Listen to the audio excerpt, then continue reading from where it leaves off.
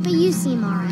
Hey guys, what's up? It's Pandora Zombie once again, and I'm gonna be telling you guys how to level Good up your dog. archery. You can only do it once per level, but you get your money back. You don't have to worry about paying. So, first thing you want to do is you want to come to Riverwood and go to the Sleeping Giant Inn. Once you're in there, you want to talk to a guy named Sven. Once you talk to Sven, he's going to give you a letter. Once you do that, you're going to take the letter to Camille. Camille is in the Riverwood Trader. It's good this way. With this building right. You're just going to go in there. Once you're in there, you would It means so much to us to have the claw back where it belongs. It's a fine day with you You want to around. give her the letter. It tell her that he that Sven wants to trick him into What are you talking about? What's in the letter?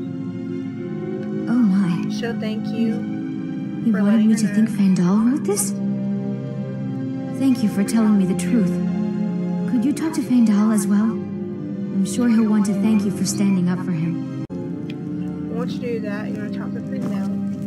And where you're going to find Findel is right behind the blacksmith place in Riverwood. There's that login where you can go buy a log wood stuff for your DLC packs.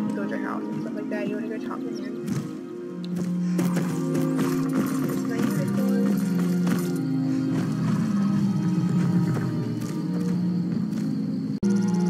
Here he right here. I'm gonna talk to him. Riverwood. There's beauty here, unmatched in all of Skyrim. uh, Skyrim, I to don't be think sure. Camilla was spending any more time with Sven. I appreciate your help. Please, take this. Some gold I've saved up from working at the mill. And then what you're going to do is ask me to follow you. Lead the way. Once you get him to follow you, you want to talk I'm to right behind again and say, "Can you train me to be a better archer?" With that, I'll show you what I know. and. Once you do that, you uh, want to say you want to trade some things with him, What do you want me to carry?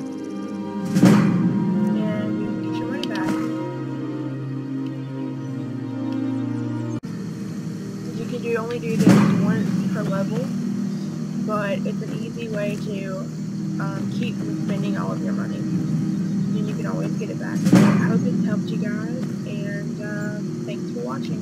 Please like, subscribe, comment, and I'll make some more videos.